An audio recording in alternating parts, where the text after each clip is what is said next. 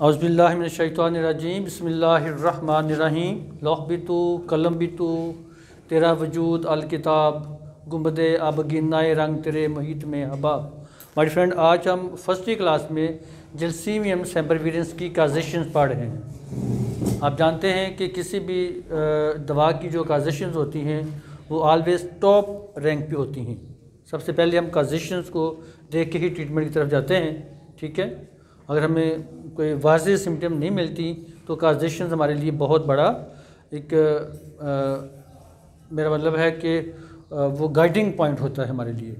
तो इसकी पहली जो काजेशन है that is gas light gas light की रोशनी में काम करने से किसी की आई सेट वीक हो रही है उसके सर में दर्द हो रही है ठीक है? गैस लाइट को आप समझते हैं। गैस पुराने वक्तों में तो ये गैस लाइट्स ही होती थी। मतलब अब भी अब तो ठीक हो गए। उन्होंने बैटरीज आ गई तो उसके साथ ये फ्रूट वाली जो लोग होते हैं उन्होंने लगाई होती हैं वो साथ लाइट्स लगाई होती हैं। वरना पहले गैस लैम्प ही जलते थे ठीक है? तो इस तरह से उसका वो मेंटल एक होता था उसकी तो हाँ उसकी आ, लाइट की उस लाइट में काम करने से कुछ लोगों के अंदर सर में दर्द होती थी कुछ को चक्कर आते थे उसको वॉमिटिंग हो जाती थी बल्कि आईसाइड वीक हो जाती थी। तो वहाँ पर हमारी जैसी में बहुत अच्छा काम करती थी उनको क्योर करने के लिए, उनको दुरुस्त करने के लिए। नंबर टू आता है हीट ऑफ़ सन और स्टोव स्टोव का मतलब भी ये चूल्हा होता है। गर्म ये चूल्हा में से स्टोव है या जिसके ऊपर आप हंडिया बनाते हैं सारे, ठीक है? हीट है ना चूल्हे की तो हीट ऑफ़ सन सूरज की गर्मी में ज़्यादा देर तक रहे आप, चलते फिरते रहे तो उसके वजह से क्या हो गया? बुहार हो गया, सर में दर्द होगी चक्कर आने शुरू हो गए हीट स्ट्रोक हो गया सन स्ट्रोक हो गया कुछ भी हो सकता है धूप में रहने से ठीक है? वो धूप में रहने की वजह से ऐसे जो मसाइल आएँगे तो उनके क्योर के, के लिए उनको दुरुस्त करने के लिए this is the best remedy mental excitement mental excitement जहनी तौर पर कि बंदा बहुत ज़्यादा एक्साइटेड हो गया बहुत ज़्यादा खुश हो गया या बहुत ज़्यादा वो गम में चला गया ठीक है? कोई खुशी की खबर हुई तो बहुत ज़्यादा खुश हो गया कोई गम की खबर थी तो बहुत ज़्यादा वो भी एक्साइटमेंट में आ गया मसन ग्रीफ में। ग्रीफ की वजह से वो आ, बहुत ज़्यादा जहन के ऊपर उसके असर पड़ा ठीक है? तो ये दोनों हालतें मर लोगों के लिए इंसान के लिए किसी न किसी डिज़ीज़ का बायस बन सकती हैं कुछ लोगों के लिए। जैसे आपने अक्सर सुना होगा कि मसल मेरे अपने जानने वाले लोग हैं उनका प्राइज बॉन्ड निकला एक करोड़ रुपए का तो सुनते ही वो बंदा जो था उसकी डेथ होगी।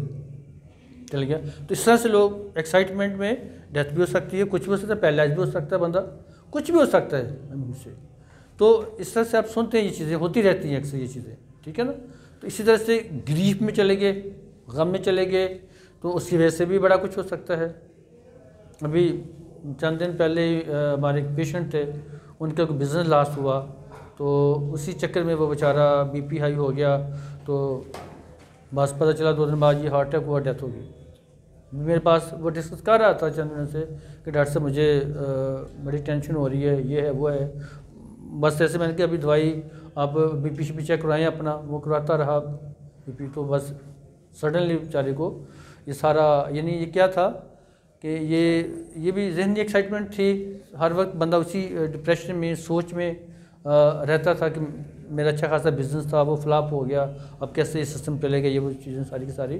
तो मेंटल एक्साइटमेंट किसी भी तरह की है, वो नुकसान का बायस अगर बनती है कहीं पर तो जसीमियम अगर आप बिफोर टाइम उसको, यानी एग्जैक्ट टाइम के ऊपर आप इस्तेमाल करते हैं तो उस बंदे की जान बचा सकते हैं। फियर हाउफ हाउफ किसी भी चीज़ का हो सकता है। Any kind of fever fear any kind of fear किसी भी तरह का खौफ है तो उसमें बाद लोगों को स्टेज फियर ऑफ़ स्टेज की तो बेहतरीन दवा है। स्टेज फियर ऑफ़ स्टेज की ये बेहतरीन दवा है।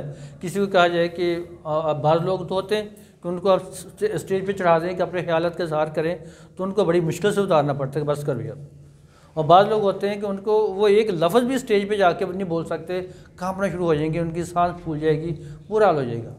तो ऐसे लोगों को जेसीमियम की डोज देने से वो स्टेबल हो जाते हैं। बाद लोग हमारे पास आते हैं कि डॉक्टर साहब, वो मेरा तो कल इंटरव्यू है, मेरा वाइवा है। मुझे तो अभी से घबराहट हो रही है, मैं क्या बनेगा, क्या होगा?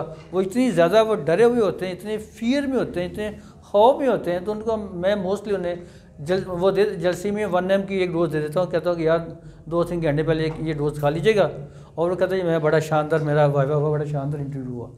तो इतनी ये आउट क्लास दवा है फियर के हवाले से भी। फियर ऑफ़ स्टेज इस तरह से बड़े अजीब से फील होते हैं। पेशेंट था मेरा, मैं उसी की, आपको एग्जैक्ट स्टोरी बता रहा हूँ कि वो उसकी एंगेजमेंट होनी थी। मेल है तो वो उसी से इतना खौफ था कि पता नहीं मेरी एंगेजमेंट में क्या होगा, मुझे ससुराल वाले देखेंगे, वो दो दफ़ा घर से भागा। इसी चक्कर में वो बेचारा हालाँकि ये तो बड़ी खुशी वाली बात है, ठीक है? तो इसमें फिर वो आखिर आया मेरे पास, दवाई के हवाले से कि डॉक्टर साहब, मैं मुझे बहुत डर लगता है इंगेजमेंट से इतनी सी इसी बात से। तो मैंने उसको जलसीमियम दी तो उसके बाद जनाब बड़े आराम से उसने सारी रस्में पूरी की बड़े आराम के साथ। बाकी मिठाई का डिब्बा बाद मुझे दे के गया वो कि डॉक्टर से मेरी मंगनी हो गई है। सो so, इसमें फियर इस तरह से डिस्टर्ब करता है मैकेनिकल इंजरी अच्छा मैकेनिकल इंजरी की आपने इंजरीज के हवाले से हमारी बड़ी मशहूर दवा है फ़र्स्ट ईयर में। कौन सी है? आर्निका माउंटेन ठीक है? यूफ्रीसिया भी है। ठीक है? उसमें ill effects of old injuries या फॉल की हिस्ट्री हो। तो जैसीमे में भी मैकेनिकल इंजरी मैकेनिकल इंजरी वो मतलब कहीं आप हिट हो गए एक्सीडेंट हो गया कोई चीज़ कोई हथौड़ी आपके हाथ पे लग गई इस तरह से कोई इंजरी होगी। ठीक है? ये मैकेनिकल इंजरी है। तो मैकेनिकल इंजरी के बाद बड़े मसले मसाल हो सकते हैं। कि जब से वो इंजरी आपको हुई, उसके बाद से आपकी तबीयत बेहतर हुई ही नहीं है। पेशेंट बीमार ही होता चला जा रहा है। इसी तरह से हमारी ये दवा है कोनी मैकुलेटम। तो उसमें अगर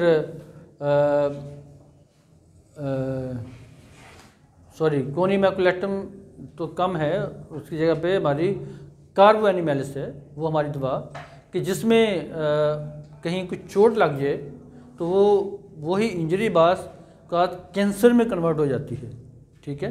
तो ये इंजरीज़ के बाद बड़े बड़े मसले मसाले पैदा हो सकते हैं।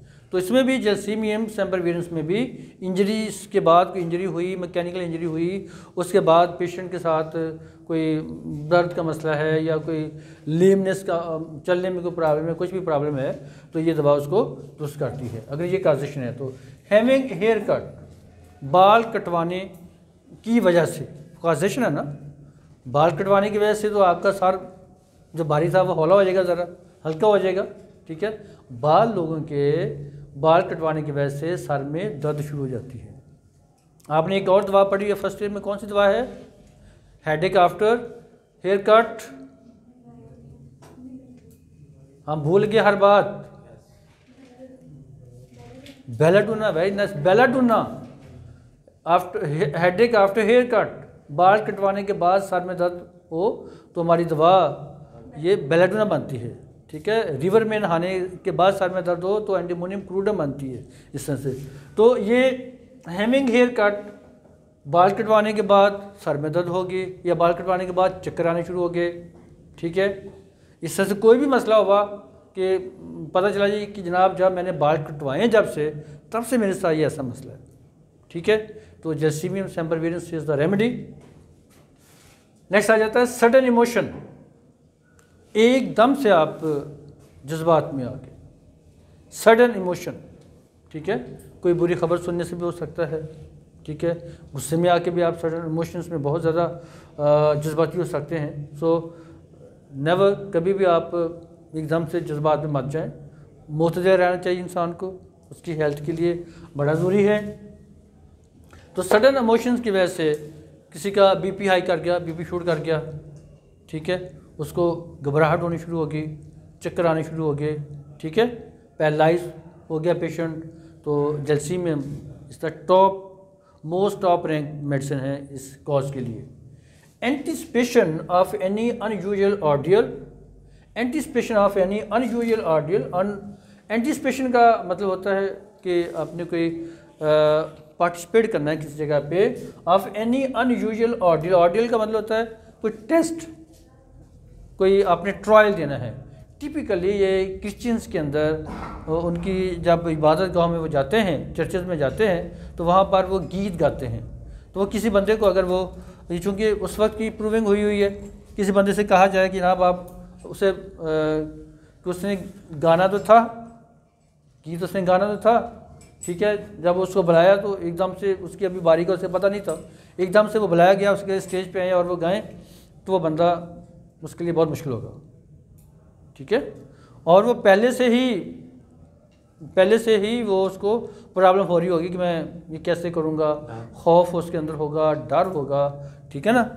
तो ये इस तरह की जो जैसे मैंने अभी आपको वाइवे की एग्ज़ाम्पल दी मैंने आपको वो इंटरव्यू की एग्जांपल दी कि वो पेशेंट को इस, इसकी प्रॉब्लम थी तो जलसीबियम देने से उसका वो मसला हल हो गया। सो नेक्स्ट है सेल्फ एब्यूज़ सेल्फ एब्यूज़ का मतलब होता है कि टिपिकली ये जो टीन एज होती है ये बड़ी गलत एज होती है इस हवाले से।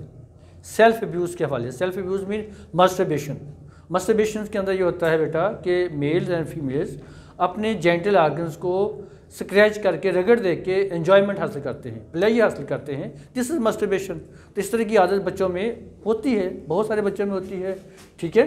तो उसकी वजह से भी कुछ बीमारियाँ, उसके अंदर कुछ जहनी बीमारियाँ आ गई, कोई इस तरह से डिप्रेशन आ गया, कोई एंगजाइटी आ गई वीकनेस में मसन के वीकनेस में होगी या मेमोरी लॉस हो रहा है, इस तरह की जो चीज़ें आ रही हैं, वो हो सकती हैं उसके साथ। तो ऐसे केस में हम जलसीमियम सेम्परवीरेंस बहुत ज़्यादा हेल्प करती हैं। सो माय डियर फ्रेंड आज हमने जलसीमियम सेम्परवीरेंस की फ़िज़िकल जनरल में पढ़ी हैं।